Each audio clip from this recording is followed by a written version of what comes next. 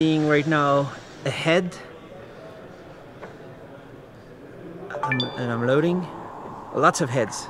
Ah, here we are. That's the accumulation of the digital mass. Accumulation of the digital mass. Exactly. That's what I work with. Data. And what you see there in the beginning is the original source. Digital Wow. Anthropology Project Pharaoh Heads. Pharaoh heads. Exactly. Yes. That's the coolest kind of head, pharaoh head. so let me grab the camera right here. So, so hello. So who are you? Hi, I'm Biliana K. I'm presenting at IDTechEx show in Berlin 2018 and uh, presenting my company and what, what I do and my product. So did you say it's about data? Yes, exactly. Like Uh, how? I, I use data to make art literary. I feed on any data and I transform it into an artwork. But- I take personal data and make a unique artwork. But it's not AI art, is it? No, not It's at still all. your art. Oh yeah, of It's course. your art. Yes. It's not yes. AI? No, nothing to do with AI. Not at that point. It's an algorithm. No, No, no. it's just a data accumulation. It's a data accumulation and I work with it manually. However, it's a lengthy process that takes a lot of time and the idea of the company is to be able to build a platform where I can handle big amount of data and transform it into art and products.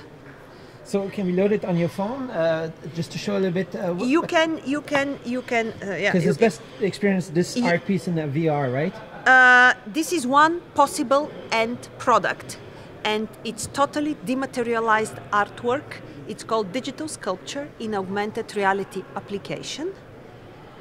So, um, and around here, you're showing, you're talking about immaterial artwork, sculpture uh, in the mobile application format. And how do you show and communicate an immaterial artwork and sculpture? That's the that's the big uh, the big thing. So that's why I built the company in order to create, distribute, and put in contact as many people as possible with this immaterial artwork. so it's like a platform, Exactly, trying to build that platform. community.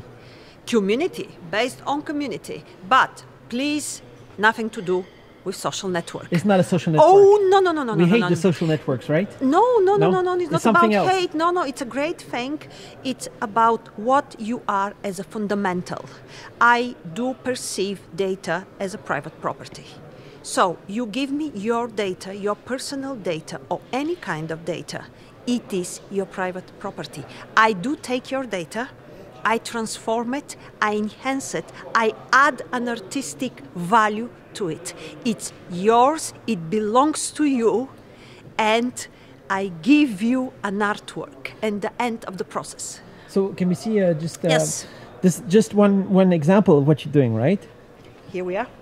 So that's what was in my in the VR headset. Yeah. What is that? This is you have the accumulation of data. In this case, heads of an Egyptian pharaohs. And you have the dematerialization literary and you plunge You get onto the head. to the digital mass. It's a non-narrative, non-representative art. Data as a volume rather than surface. And the idea is to accumulate as infinite amount of data in an infinitely small amount of space which you can navigate. You're gonna navigate through that, Yes. So you can navigate your art piece forever, maybe. That's the idea to navigate the art piece forever. Is Yes. it going to be possible that the art is going to be so? Uh, people are going to love it so much they want to stay in it so very long time. It's only a question of time. Yes. In the end of the day, we don't know whose art piece we are navigating right now, what reality is. And are you're talking like Elon Musk, right? Uh, no, no, no. I No? hope not. You hope not. Okay. No, no. I love the guy, but no, Okay. no. I hope not. No. No, His no. rockets are pretty cool. No, no, no. I don't. But he thi- thinks we are in a v- we are in a game or something. But do you I, think we I, are? don't- I, I I just think that being able to create a new dimension in art is literally creating a new reality. Art is reality. And over here, you, you, you say um, the art of technology. What does that mean? The art of technology is my building matter Yeah. is data. So data you can navigate, you can you can work with through technological processes. It's technologically based entity. Anthro. So that's why it is literally Anthropotopic. the art of technology. What is anthropotopic? Anthrotopic, it's a fusion between anthropology and utopia. It's a made up word. Okay, that's cool. that's very cool to make up some words. Yep. You do that often? Uh, it was not me that did it. it was a dear friend from New York, and uh, I use it ever since. So when you said the Silicon Valley last year, what does that mean? You is that where I you went to? Silicon Valley. No, I'm not based there, but I, I, I went there. I said, okay, that's, uh, that's the best place to present a new type of uh, immaterial entity. I thought in the art in, in, in the art world it was a little bit difficult to explain what this thing is. In the tech world, it's much more natural. Be- because all these, uh, let's say guys, let's, but there's not only guys, but uh, Yeah. these Silicon Valley guys. Yes. I mean, this mostly guys. They're doing all these social networks and stuff. Silicon Valley wants value out of data. This is what it's the main interest, not only Silicon Valley, everywhere else. How do we monetize on data? And in the moment you realize how and you manage to do art out of data, I think uh, that's a pretty cool way to monetize on data. Don't you think so? Is this? But is this going to be an application or not? The end formats are what technology provides at every existing point of time. With the evolution of, of the technological possibilities, the end formats will inevitably change. However, the company is essentially data company. However, it works on a two fundamental principle perceives data as a private property owned by an individual or an entity. In the moment it is given to me, entrusted to me to create an artwork, I make this data, I add to this data an artistic value. I enhance the value of your data. Make it meaningful. No, Otherwise, data is just Art is not meaningful. No, no, no, exactly the opposite. Oh. Data is a rational entity, technical, rational entity. What I do is I scramble it and bring absurdity to the data itself. Yeah, so it beyond recognition. It contains the truth, but it is beyond recognition of its original model. But the absurdity is superior to like the meaningful, ne- the, the the basic data. From where I stand, Because that's why people go to museums and, and I believe exactly. right? Yes, that's what I believe. That's why the cool people go there. and uh, I think everybody goes there. Everybody wants to go there, and the ones that have not, it's only a matter of time that people will. Art is an inevitable station of your life. You do pass through it. The only difference is that I want to take the art entity out of the restrictive enclosure of the art world and bring it to everybody indiscriminately, limitlessly. Because in the last 30 years, there's all these computers, the internet, all these apps, and all that. It kind of, I don't know if it didn't destroy the art, but it's just, it's not very artistic, all this stuff, right? So you, you think art is going to survive with all this technology? Absolutely. Uh, those are all roads. You travel on them.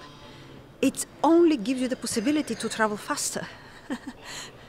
so I love those roads because the data travels on a very, very fast roads. But you need to package it in a way that inspires. and that can reach everybody. So this is uh, the future of IoT, Internet of Things, and this is where the 5G will literally revolutionize because you will be able to deal with data with a great comfort. and uh, uh, and this is where my company is. So you're Yeah. an entrepreneur. Yes, This it's a a company. combination between art, technology, and entrepreneurship. Exactly that. So this is a company with the employees, So far, it's me. but it's also gonna. What do you have a vision? You're gonna grow. Yes. You, what, Imagine if you get uh, all those connected devices and all those people connected on, on online, on internet. Each one of them, it's my possible client. That's how I see it, and that's the concept of connected right, connected art. So what's next? Ultimate connectivity, Who do you want? borderless art. Who do you who do you want to contact you? Everybody, Just everybody. or just everybody. And what is the contact? What are they gonna ask? What are they gonna say? What's next? No, they will give me their personal data and say, I want an artwork. Make an artwork out of my data. Make a unique artwork for me only. That's it. Nice. How long does it take you? Oh, that's a long process. The whole point is to be able to be embedded in the Internet of Things ecosystem in order to make this process as smooth as possible and to be able to connect with infinite amount of people that will order an artwork from me out, made out of data. So all this technology is not doesn't have to be a barrier for the art. It could enable even better art. For me, it's it's it's it's a it's a ship that travels at at a great speed, and uh, for me personally, speed is everything. And uh, uh, yeah, it, it gives me the possibility to travel very fast. I don't know if that's necessary, good or bad, but I do travel very fast, and I bring everybody with me, or whoever wants to come with me. It, that doesn't mean you are not going to make painting. It's simply a very different speed.